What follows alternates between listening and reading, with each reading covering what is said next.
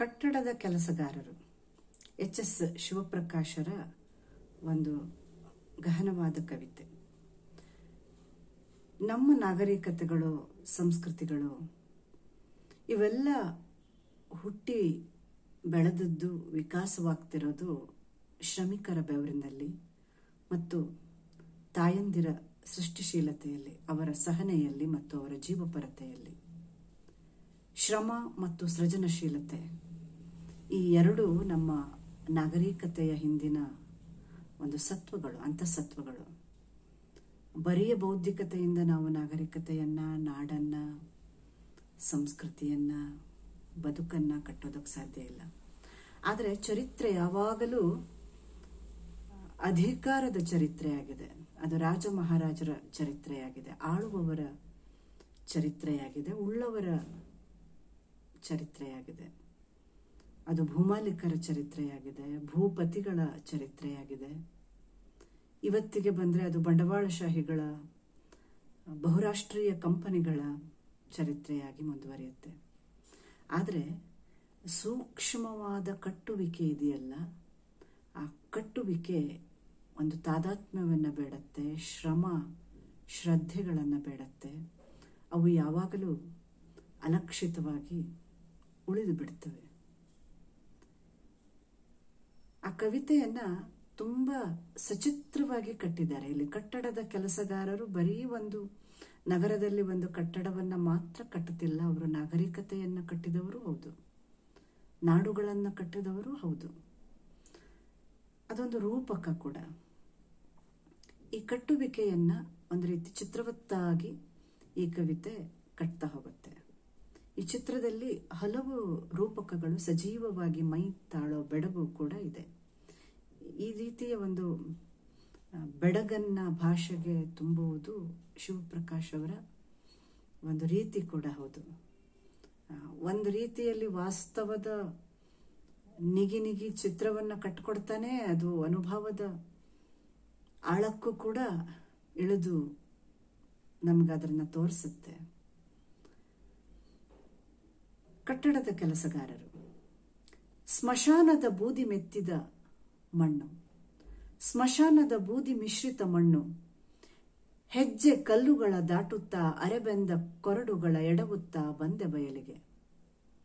ಒಂದು ಸಲವಾದರೂ ಬೆಚ್ಚನೆಯ ಗಾಳಿ ತುಂಬಿಕೊಳ್ಳಲು ಪುಪ್ಪುಸದೊಳಕ್ಕೆ ಮಣ್ಣ ತಿಮಿಂಗಿಲ ಎದ್ದು ನಿಂತಂತೆ ದೂರದಲ್ಲಿನ್ನೂ ಸುಣ್ಣ ಬಳಿಯದ ಮಹಲು. ಒಂದು ಚಿತ್ರ. ಊರ ಹೊರಗೆ ಒಂದು ಸ್ಮಶಾನ, ಅಲ್ಲಿ ಬೂದಿ ಮಿಶ್ರಿತ ಮಣ್ಣು. ಹೆಜ್ಜೆ ಹೆಜ್ಜೆಗೂ ಅರಬೆಂದ ಕೊರಡುಗಳು, ಕೊಳ್ಳಿಗಳು ಅದನ್ನೇ ದಾಟ್ತಾ ಎಡುತ್ತಾ ಬಯಲಿಗೆ ಬಂದರೆ ಆ ಸಾವಿನ ಸ್ಥಳವನ್ನ, ಸಾವಿನ ಅತ್ಯಂತಿಕವಾಗಿ ಎಲ್ಲರೂ ತಲುಪುವ ಗಮ್ಯ ಸಾವು, ಆ ಸಾವಿನ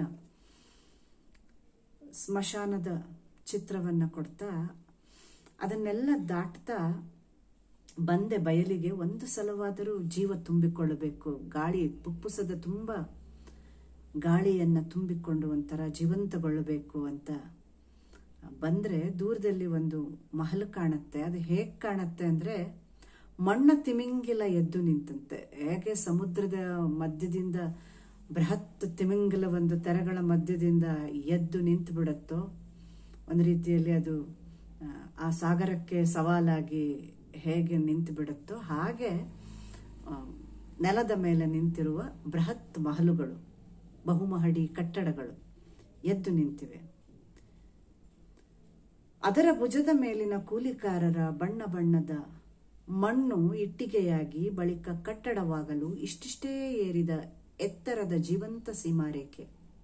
ಕೈಯಿಂದ ಕೈಗೆ ಹಾರುವ ಬಾಣಲಿಯೊಂದು ರೆಕ್ಕೆ ಮೂಡದ ಮಣ್ಣು ತುಂಬದ ಲೋಹದ ಹಕ್ಕಿ. ತೊನೆಯುವ ತೋಳುಗಳ ಹಿಂದೆ ಬಗಲ ಕಿಂಡಿಗಳಲ್ಲಿ ನೀಲಿ ಹೊತ್ತಿ ಉರಿಯದೆ ಏನು? ಮೋಡಗಳ ಬೂದಿ ಎಷ್ಟು ಕಟ್ಟಿದರೇನು? ನಿಧಾನಕ್ಕೆ ಮಣ್ಣು ಕಟ್ಟಡವಾಗಿ ರೂಪುಗೊಳ್ಳುತ್ತದೆ. ಇದೇ ನೆಲದ ಮಣ್ಣು. ಅದು ಇಟ್ಟಿಗೆಯಾಗಿ, ಒಂದೊಂದೇ ಹಂತವಾಗಿ ಮೇಲೆ ಇರ್ತಾ ಮೇಲೆ ಇರ್ತಾ ಅದು ಕಟ್ಟಡವಾಗುವ ಸೊಬಗನ್ನ, ನಿರಾಕಾರವು ಅಕಾರ ತಾಳುವ ಸೊಬಗನ್ನ, ಮಣ್ಣು ಮಹಡಿ ಮನೆಯಾಗುವ ಒಂದು ಚಿತ್ರವನ್ನ ಇಲ್ಲಿ ಕಟ್ಕೊಡ್ತಾರೆ. ಇಲ್ಲಿ ಒಂದು ತುಂಬ ಇಂಟ್ರೆಸ್ಟಿಂಗ್ ಆದ ಈ ವರ್ಣನೆ ಹೇಗಿದೆ ಅಂದರೆ ಅದು ಮಣ್ಣ ತಿಮಿಂಗಿಲ್ಲದಂತೆ ಕಟ್ಟಡ ಎದ್ದು ನಿಲ್ಲೋದು ಇರಬಹುದು ಹಾಗೆ ಕಟ್ಟಡದ ಕೆಲಸಗಾರರು ಕಬ್ಬಿಣದ ಬಾಣಲೆಗಳಲ್ಲಿ ಸಿಮೆಂಟು, ಕಲಸಿದ ಸಿಮೆಂಟು ಇಟ್ಟಿಗೆಗಳನ್ನು ತುಂಬಿ ಅದನ್ನ ಒಬ್ಬರ ಕೈಯಿಂದ ಒಬ್ಬರ ಕೈಗೆ ಎಸಿತಾರೆ. ಒಂದು ಮಜಲಿನಿಂದ ಇನ್ನೊಂದು ಮಜಲಿಗೆ ಅದನ್ನ ದಾಟಿಸ್ತಾರಲ್ಲ, ಅದು ರೊಯ್ಯನೆ ಗಾಳಿಯಲ್ಲಿ ಹಾಗೆ ತೂರಿ ಇನ್ನೊಬ್ಬರ ಕೈಗೆ ಹೋಗುವಾಗ ಲೋಹದ ಹಕ್ಕಿಯ ಹಾಗೆ ಅದು ಕಾಣ್ತಾ ಇದೆ. ಲೋಹದ ಹಕ್ಕಿ ಹಾರತಾ ಹೀಗೆ ಇಟ್ಟಿಗೆಗಳು ಬೆಸೆದು ಒಂದು ಕಟ್ಟಡವಾಗಲು ಎಷ್ಟೆಲ್ಲ ಕೈಗಳು ದುಡಿಯಬೇಕು, ಎಷ್ಟೆಲ್ಲ ಬೆವರು, ಎಷ್ಟೆಲ್ಲ ಯಾತನೆ, ಎಷ್ಟೊಂದು ಹಸಿವು ಅಲ್ಲೆಲ್ಲ ಬೆರೆತು ಹೋಗಿದೆ ಅಲ್ಲಿಯ ಗಾಳಿಯಲ್ಲಿ, ಮಣ್ಣಿನಲ್ಲಿ. ಇದನ್ನು ಇತಿಹಾಸ ಗಮನಿಸೋದಿಲ್ಲ ಅದನ್ನು ಕವಿತೆ ಗಮನಿಸ್ತದೆ, ಅದೇ ಕವಿತೆಯ ವೈಶಿಷ್ಟ್ಯ ಕೂಡ. ಈ ಹೀಗೆ ತೊನೆಯುವ ತೋಳುಗಳ ಹಿಂದೆ, ಈ ಶ್ರಮದ ತೋಳುಗಳ ಹಿಂದೆ ಹೊತ್ತಿ ಉರಿಯುವ ಬೆಂಕಿಯ ಮೂಡಗಳ, ಮೋಡಗಳ ಬೂದಿ ಎಷ್ಟು ಕಟ್ಟಿದರೇನು, ಬುಡದಿಂದ ಅಡಿವರೆಗೆ ಬೆವರುಂಡು ನಿಲ್ಲುತ್ತಾ ಸುತ್ತ ಹಬ್ಬುವ ಮಜಲು, ಮಹಲು, ಬಾವಿ ಗಾಲಿಗಳ ಸಿಡಿಮಿಡಿಯ ಕೂಗುಗಳ ಕರೆಯಗಳ ಮಧ್ಯ ಸುಡು ಸುಡು ಮರಳ ರಾಶಿಯ ಹರ ಹರಕು ನೆರಳಲ್ಲಿ ಅರೆತೆರೆದ ಕಣ್ಣುಗಳ ಕಂದನಿಗೆ ಹಾಲ ನೋಡುವ ಅಮ್ಮ. ಇದರ ಹಿಂದೆ ಒಂದು ಬದುಕಿದೆ. ಎದುರುಗಡೆ ಒಂದು ಬೃಹತ್ ಕಟ್ಟಡ, ಅದ್ಭುತವಾದ ವಿನ್ಯಾಸದ ಕಟ್ಟಡ ತಲೆದೋರ್ತಾ ಇದೆ. ಆದರೆ ಈ ಕಟ್ಟಡ ಎಷ್ಟು ಬೆವರನ್ನ ಉಂಡು ಎದ್ದು ನಿಲ್ತಾ ಇದೆ.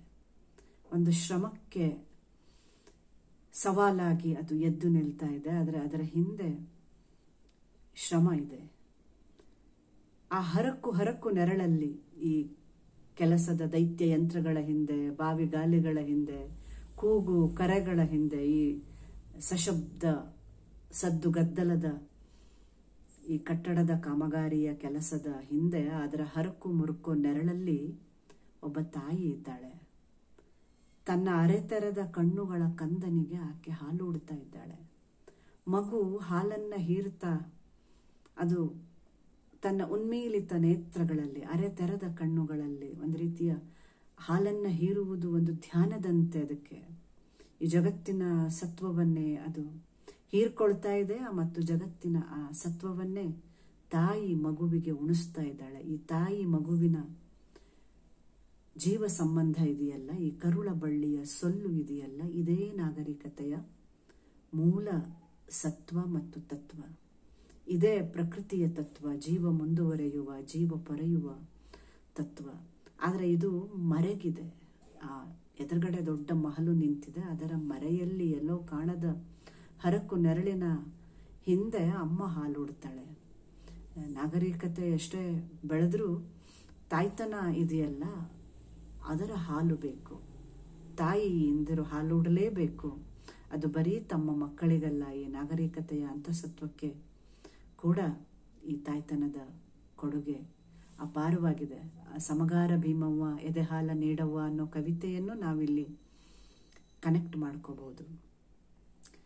ಕೊನೆಯದಾಗಿ, ನಿನ್ನ ಗರ್ಭದ ಗುಪ್ತ ಸಾಮ್ರಾಜ್ಯಗಳಲ್ಲಿ ನಗರ ನಾಡುಗಳೆಷ್ಟು ಹೊರಳುತ್ತಿವೆ. ಇದು ತಾಯಿಗೆ ಕೇಳ್ತಿರೋದು. ಈ ತಾಯಿಯ ಗರ್ಭ ಅನ್ನೋದು ಒಂದು ರೀತಿಯ ಬ್ರಹ್ಮಾಂಡದ ಗರ್ಭದಂತೆ. ಸಾಮ್ರಾಜ್ಯಗಳು ಸ್ಥಾಪನೆಯಾಗ್ತವೆ ಅರಳುತ್ತವೆ, ಉರುಳುತ್ತವೆ, ಸೋಲು, ಗೆಲುವುಗಳು ಉಂಟಾಗ್ತವೆ, ಅಧಿಕಾರಗಳು ಸಿಗ್ತವೆ ಹಾಗೂ ಅಧಿಕಾರಗಳು ಕಳಚಿ ಹೋಗ್ತವೆ. ಆದರೆ ಈ ತಾಯ್ತನ ಇದೆಯಲ್ಲ, ಈ ಸೃಷ್ಟಿ ಪೊರೆಯುವಿಕೆ ಇದು ನಿತಾಂತವಾಗಿ ಸದಾ ಇರುವಂಥದ್ದು. ಅದರಿಂದ ಅವಳ ಗರ್ಭ ಅನ್ನುವುದು ಗುಪ್ತ ಸಾಮ್ರಾಜ್ಯ. ಸುಪ್ತವಾಗಿದೆ, ಅದು ಕಣ್ಣಿಗೆ ಕಾಣುವ, ಢಾಳಾಗಿ ಕಾಣುವ ಅಧಿಕಾರ ಪೀಡಿತವಾದ ಸಾಮ್ರಾಜ್ಯ ಅಲ್ಲ. ಮಮತೆಯೇ ಮಾತಾದ, ಸಲಹುವಿಕೆಯೇ ಅಧಿಕಾರವಾದ ಒಂದು ಪ್ರಪಂಚ ಇದು. ಈ ಸುಪ್ತ ಸಾಮ್ರಾಜ್ಯದಲ್ಲಿ ಎಷ್ಟು ನಗರ ನಾಡುಗಳು ಹೊರಡುತ್ತಿವೆ. ಇನ್ನೂ ಹುಟ್ಟದ ಎಷ್ಟೊಂದು ನಗರ ನಾಡುಗಳು ನಿನ್ನ ಈ ಗರ್ಭವೆಂಬ ಗುಪ್ತ ಸಾಮ್ರಾಜ್ಯದಲ್ಲಿದೆ ಅಂತ ಆ ತಾಯ್ತನದ ಒಂದು ಮಹತ್ತನ್ನ ಅದರ ಒಂದು ವಿರಾಟ್ ಸ್ವರೂಪವನ್ನ ತೋರಿಸ್ತಾರೆ. ಹಾಗೆ ಆ ಶ್ರಮದ ಮಹತ್ವ ಕೂಡ ಇಲ್ಲಿ ಇದೆ. ನಾವು ತಾಯ್ತನದ ಶ್ರಮ ಮತ್ತು ತಾಯ್ತನದ ಸೃಜನಶೀಲತೆ ಇದರ ಹೊರತಾಗಿ ಯಾವ ನಾಗರಿಕತೆಯನ್ನು ಕಟ್ಟೋದಕ್ಕೆ ಮತ್ತು ಉಳಿಸೋದಕ್ಕೆ ಸಾಧ್ಯ ಇಲ್ವೇನೋ ಅನ್ನೋ ಒಂದು ಹೊಳಹು ಈ ಕವಿತೆಯಲ್ಲಿದೆ.